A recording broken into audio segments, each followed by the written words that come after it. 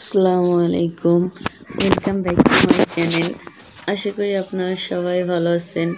আমি আল্লাহ শেষ রহমতে আমার ফ্যামিলি নিয়ে ভালো আছি। হয়তো কণ্ঠটা একটু কেমন শোনা যাচ্ছে।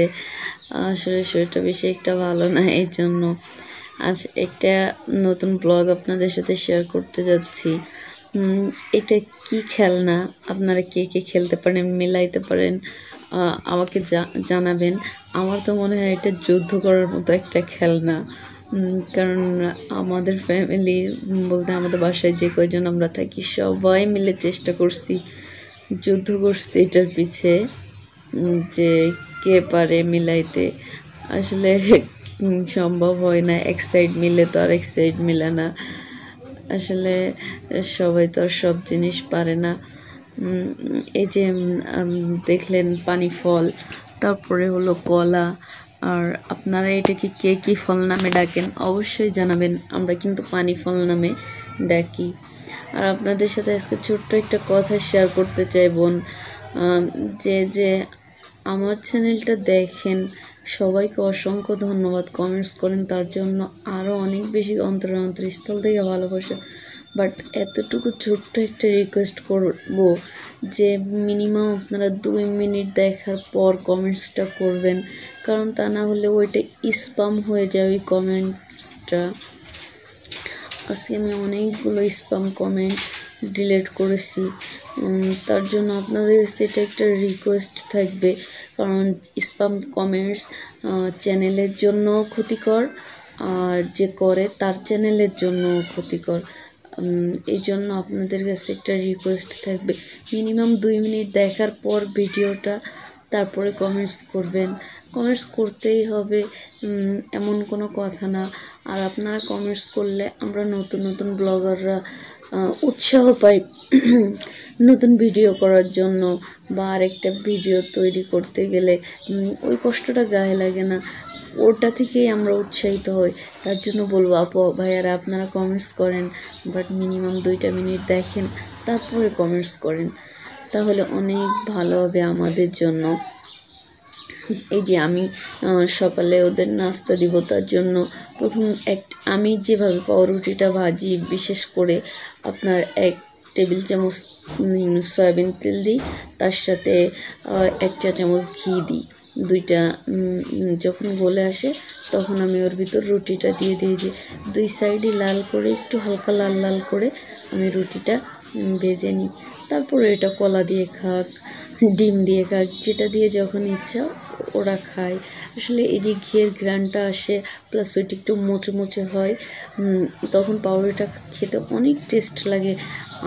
আমার তো খুব ফেভারিট আপনাদের কার কেমন লাগে অবশ্যই জানাবেন। আর সবাই এভাবে যদি আমার আইডিয়াটা ভালো লাগে, একবার ট্রাই করে দেখবেন বাসায়। অনেক মজা লাগে। আমি খাই, আপনারাও একবার খেয়ে দেখবেন। তারপরে যে মেঘলা ছিল, জুয়া ছিল, বাবু ছিল, ওদের সবাইকে আমি এগুলো দিব খেতে।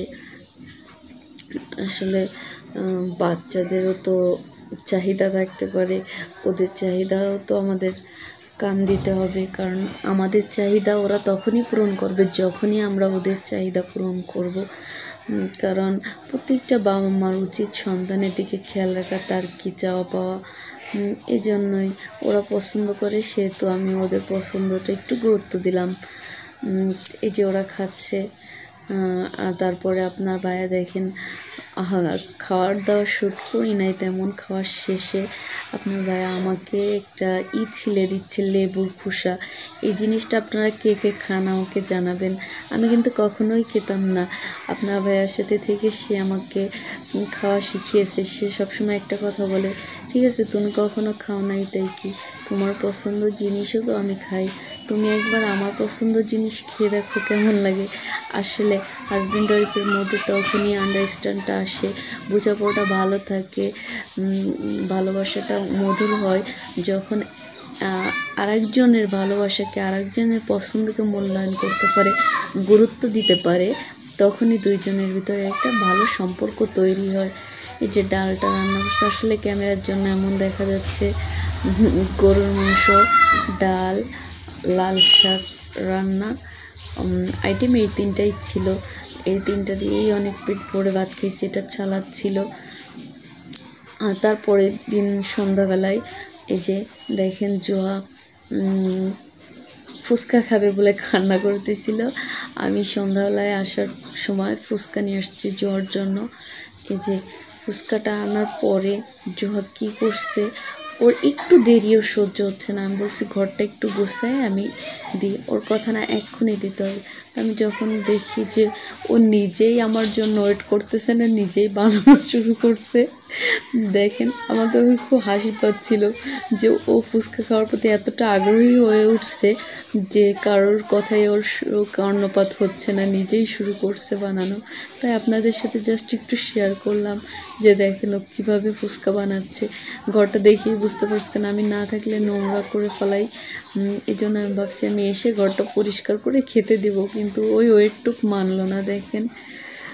জ্বর ফুচকা বানানোটা কেমন লাগল অবশ্যই সবাই আমাদের কমেন্টস করে জানাবেন। যে যে কেমন ফুচকা বানাইতে পারে, কালকে থেকে ওকে একটা ফুচকার দোকান দেয়া যাবে কি না দেখেন। আমি কিন্তু ওকে কিছুই বলে দিচ্ছি না বা শিখিয়ে দিচ্ছি না, ও নিজে থেকে এইগুলা করতেছে, যা যা করতে হয়। এই যে।